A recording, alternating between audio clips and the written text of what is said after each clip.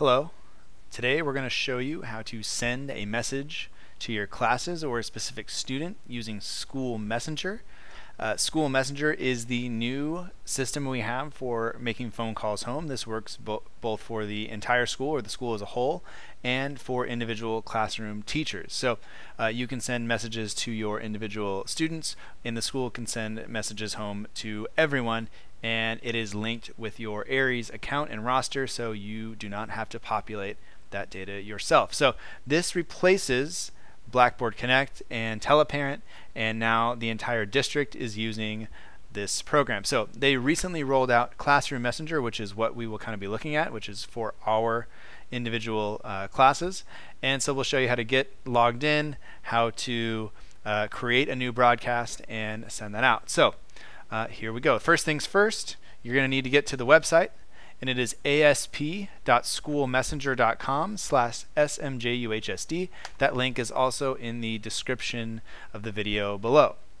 Uh, and if you were wondering what happened, we recorded or did this live last Friday, but the uh, audio came off kind of poor, so we're re-recording just to make the directions a little clearer and so that everyone uh, can actually hear it. So your login information, your username, is the same as you use for Aeries. So for most of us, that's just our first name and last initial.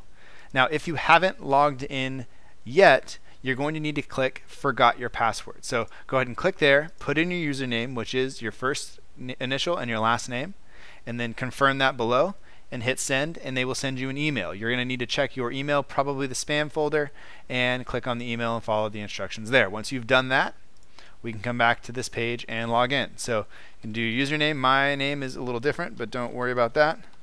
Put in your username and password and hit sign in. The first page that you come to here will show you kind of a summary. So how many broadcasts you've sent, um, who's sent them, and all this stuff. And so for most of you, it's probably not going to have anything here just yet. Uh, if you look down underneath that, you will see that uh, you know their, your completed broadcasts are under there as well. Most of you, once again, probably will not have anything there.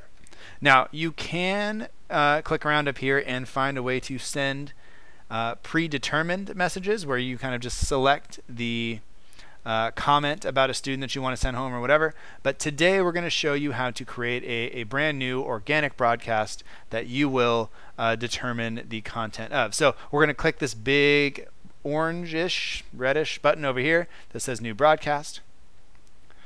And we're going to wait for it to load. Now we're going to have a subject here. And we're going to put that in there just as like a subject of an email. Okay. And most of you only have the classroom messaging function, so click on that. Um, now, down under recipients, uh, we're gonna have we're gonna add some message recipients, but we also want to add ourselves. So we're gonna hit add me, and we're going to notice right here that there is no phone number for us. So we're going to hit this little pencil and edit that. And you can put in your own number.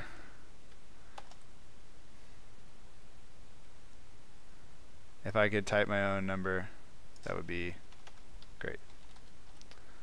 Alright, so number's in there. I'm going to hit save. Uh, I'm actually going to do the same number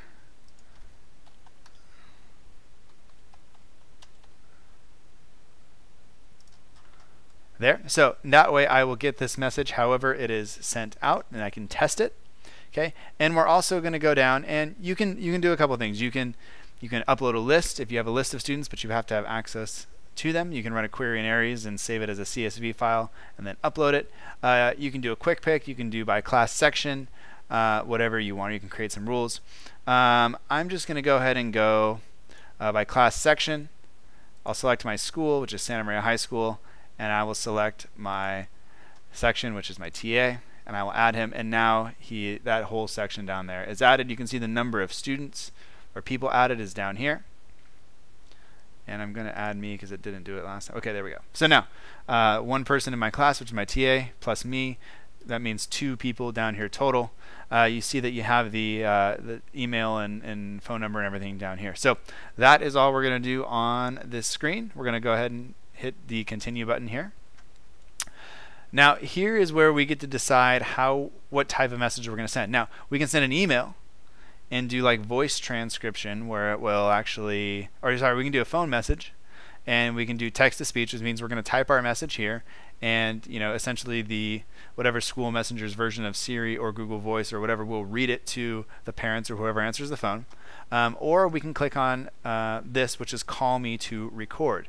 Now, if we go, we select call to record, if you want to put it in Spanish, you'll need to be able to speak Spanish. Okay, so you can record an English message and then you record the same message again in Spanish, but if you don't speak Spanish, it won't translate it for you. Um, now, we also could do the text to speech and then hit the translate button down here, which will translate it into Spanish for you. So if you do speak Spanish, you want to, you want to do it that way, you can. Um, if you want to do the call route, you can. If you don't speak Spanish and want to do text to speech, you can also do that. I'm going to show you how to do the call uh, to record. So I'm going to enter my number here, and I'm going to hit call. And we're going to wait for it to call me.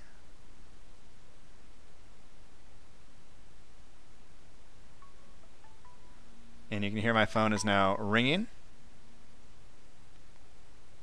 Hello. When you are ready to begin recording your message, press 1 and follow the prompts. Begin speaking immediately after the beep. Press any key to stop recording. Hello, this is Mr. Markstone with Santa Maria High School. I just wanted to remind all the students that we do not have class this Friday, November 11th. Thanks. Have a great day. Your message will now play back. Hello, this is Mr. Markstone with Santa Maria High School. I just wanted to remind all the students that we do not have class this Friday, November 11th. Thanks. Have a great day. To save this message, press 1. To replay this message, your message has been saved. I've pressed Thank 1. you. Goodbye. The call has ended. And now you'll see that it gives me the option to record it in another language. Okay, but I am not going to do that. So now I have that. And I'm going to go down and click save because my message there is done. I can also do an email message if I wish. Uh, but for now, I'm going to um, move on. Actually, I will show it to you. Uh, so actually, we do have the option to also do an email message, and I am going to do that now. So the reply to email, I will just leave um, as my school email. Um, subject, great job. There is some stationery in there. I have not messed around with that, but just going to type my message here.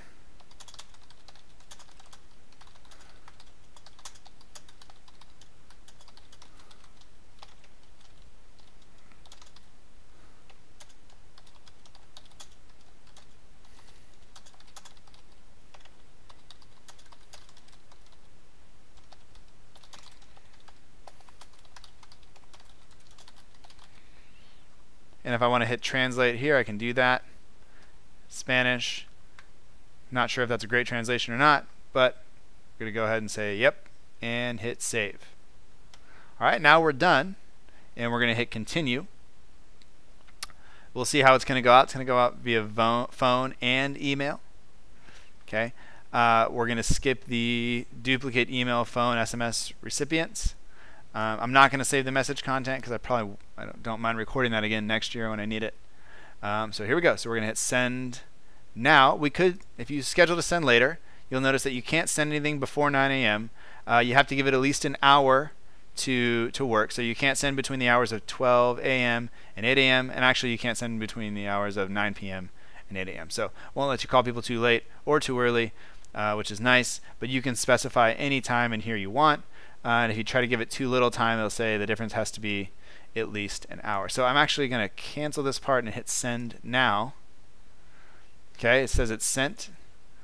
And so now it's going to go, and you'll see that this thing here is in progress or sending soon.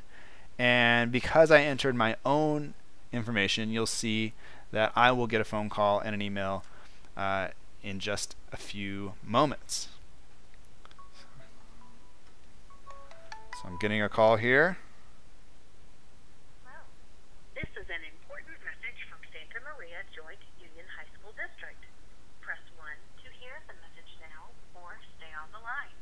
Press the Hello, this is Mr. Markstone with Santa Maria High School. I just wanted to remind all the students that we do not have class this Friday, November 11th. Thanks. Have a great day.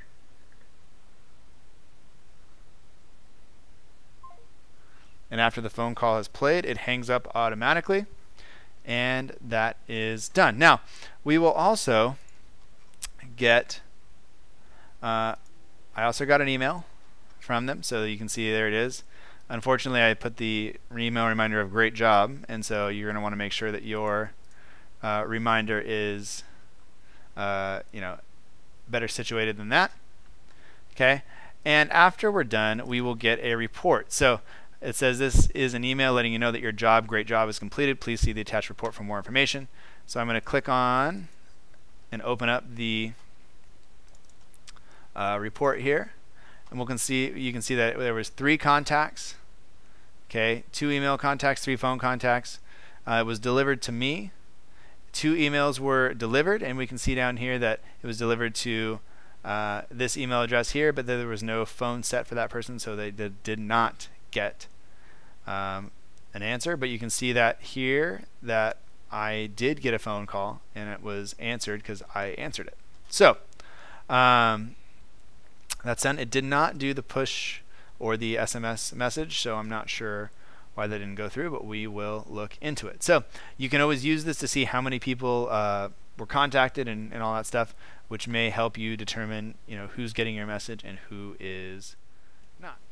So I just want to remind you that if you found this tutorial helpful, uh, I'm glad. And if you need more help, or you want more help in setting this up or, or doing something that I have not explained here, let me know. You can reach out to me. You can contact me at mmarkstone at smjuhsd.org. You can call me at extension 3410, and I would be more than happy to provide you with some assistance.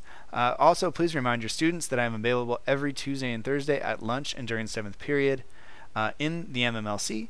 Uh, you, as teachers and staff members, have access to me a little bit more than that, uh, and I'm more than happy to come in and work with your classes on any technology related project or whatever that you have or want some help with. Um, that's why I'm here. So uh, let me know if you need any assistance, and I look forward to helping you again in the future soon. Thanks.